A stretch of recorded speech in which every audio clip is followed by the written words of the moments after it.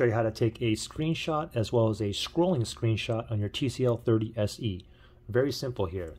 So the easiest way is a two key combination, volume down, power. Just press both buttons at the same time, volume down, power. Just press both buttons like that. Took a screenshot.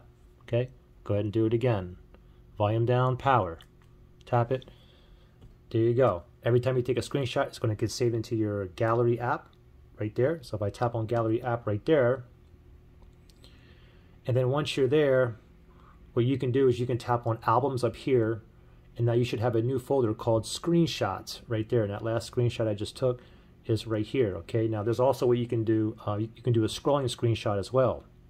So for example, let's say you have Google uh, Chrome open and maybe you're at a website or something like that where you're able to scroll up or down. So let's say I want to go ahead and take a screenshot of like, you know, this right here, this right here, and this right here. I don't want three screenshots, I want one screenshot. So what you can do is just start it over here and then we're going to take a screenshot, volume down, power again.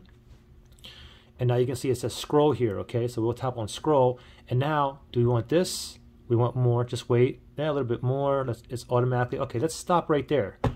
And we can stop right there, okay? Now you can see this right here. And then from here, of course, you can you can go ahead and crop it or whatnot. Ah, you did a little bit too much down there. You can go ahead and raise that up just a little bit, like right there. Raise this one down. Then we can tap on the check mark right there and it gets saved to the gallery, okay? So again, I can go right to my gallery and then that last screenshot I just took is right here. Boom. You can see right there. Pretty simple. Questions or issues, just comment below.